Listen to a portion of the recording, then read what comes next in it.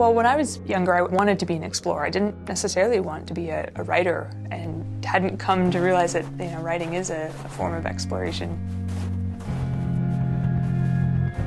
I never traveled anywhere. I grew up in small town Ontario, um, and I hadn't seen a mountain or, or an ocean or a glacier or any of these things I read about, but I, I lived them and traveled them very vividly in my imagination.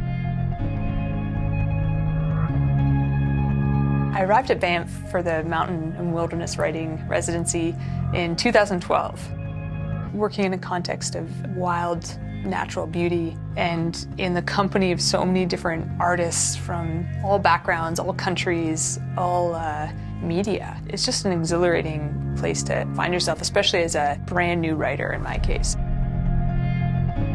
Biking the Silk Road was risky by some measures, but I actually feel like the real risk and challenge of the whole experience was trying to recreate it on the page for others to come along on that journey.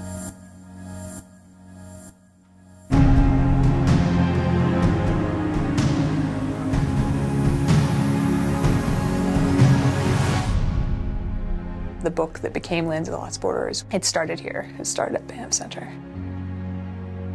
I left this place feeling like the book might be possible, the book I was trying to write. And for a long time, had been feeling like a mountain I would never see the far side of.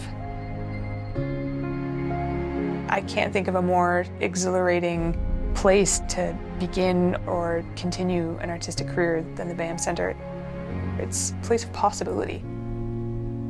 Banff Centre is a world apart from walls.